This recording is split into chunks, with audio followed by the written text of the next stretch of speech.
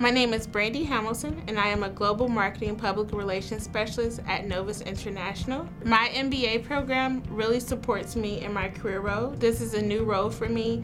Um, I deal with very high level business issues, and many of the things I learn in my classes are things that I can apply to my everyday responsibilities. In all my classes, um, my professors have either started a business or um, are very high level in their company. And going for my MBA, that's something important for me. So I learn a lot from them. I enjoy their honesty, their candidness, and just their experience.